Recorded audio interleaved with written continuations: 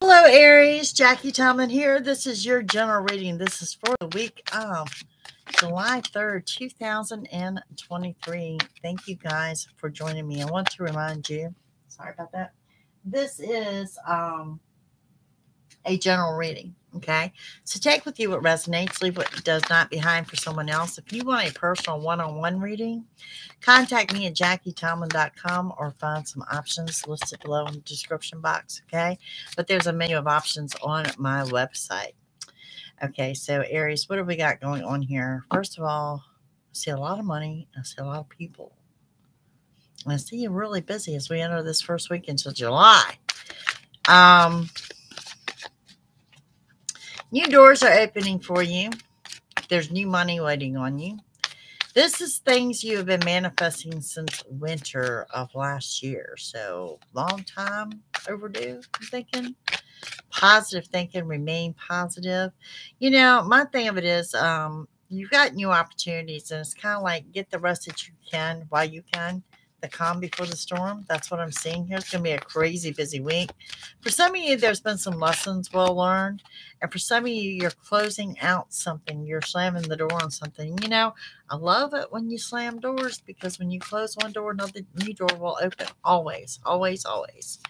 Okay, so let's get into the energy of the week of July 3rd, 2023 for my Aries of what Spirit has for you first card we had jump out was the Eight of Wands, which I love. Eight of Wands talking about total happiness, total contentment, love arrows flying around, just good vibrations all the way around. Some of you, you might be doing the vacation scene, the tropical scenery is what I'm seeing. So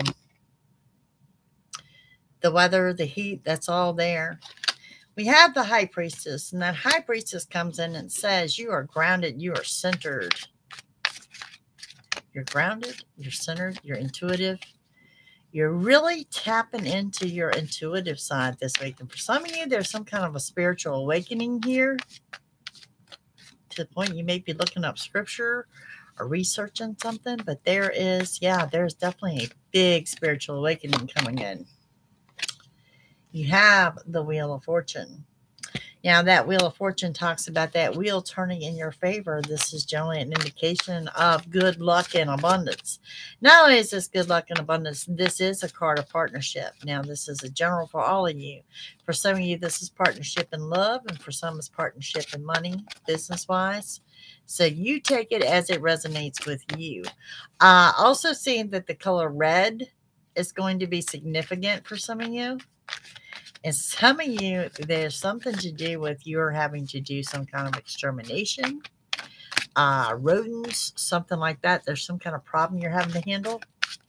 Just putting that out there. Five of Wands, talking about avoid needless drama. I really think this is on the home front or with family. And I do describe it as needless drama because it's going to be very brief and passing. Okay. Not worth your energy to get involved with. We have in the center of the reading the King of Cups. That King of Cups comes in. This is a huge offer of love, offer stability. Somebody coming in to offer you a relationship if you're single. Date night for some of you. This applies to my singles and my couples. The star. The star comes in and says, Let's talk about wish fulfillment. Total happiness, total contentment, definite wish fulfillment.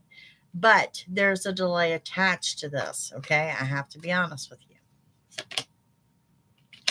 Five of Cups says, do not overthink, do not get in your head, do not get stuck in thoughts. Particularly, I know this is odd, if you're on vacation, no overthinking. You're there to rest and relax, and you need to take the R&R. So no working vacations for you guys. Ten of Pentacles. There it is. Money, money, money, money. Highest financial card in the deck. This is also, you know, health, wealth, family, friends. You're just your abundance in general. And we have the Princess of Wands. Now, what we're talking about there, Princess of Wands. Messenger, the messenger card. This could be Sagittarius energy that you're dealing with. The message is the Four of Wands. I'm telling you, someone's coming in with that offer of the happily ever after. Something somebody's going to offer you stability, something of the long term. All right, let's get into another deck here. See if we have any more messages for you for the week. Looks good though. Energy looks really good for my Aries. Busy, but good. You're losing sleep, Nine of Swords, but it's not a loss of sleep over worry. This is like a more of an excitement, adrenaline type loss of sleep. So that's a good thing. And it could be, you know, we've got financial balance going. There's something here that brings in that aha moment, that sigh of relief, that something, something that reassures you, says, you know, you're going to be all right. You're going to make it.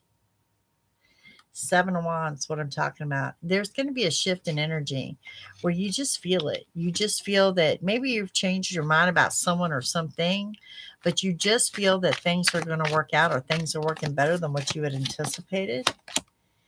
And we have the Eight of Pentacles. This is money in addition to money in addition to your regular pay. This could actually be the sale of an item. Really, I'm going with the sale of an item. Uh, could be a side hustle or anything like that. Center of the reading comes in with the Page of Cups. There is an unexpected offer of love. And I do want to stress the word unexpected. And I also want to throw out that a Capricorn may or may not resonate with you.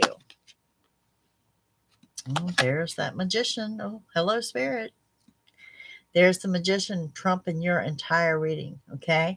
And this is talking about your yes answer, getting everything you want, everything you desire right there on that table before you. It's going to be an amazing week for you guys. Five of Cups comes in with the Fool.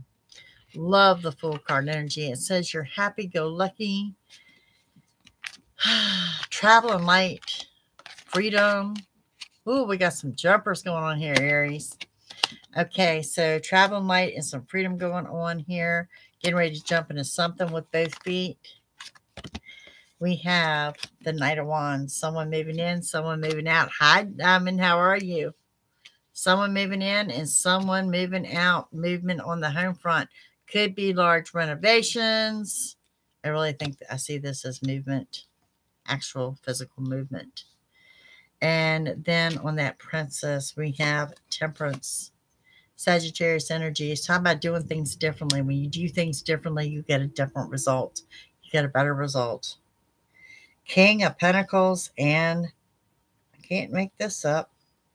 Right beside the star, you got the sun, the sun shining in all that you do. Financial stability could be dealing with a Gemini energy. Aries, we are going to the extended on this one. I had no idea, but we are. We're going to the extended. So if you want to join me for the extended, that information is in the description box below. Now, that is access to all extendeds all the time. Cross watchers welcome. Um, also, it gets you um, open chats, video chats, all sorts of stuff. So y'all join me over there.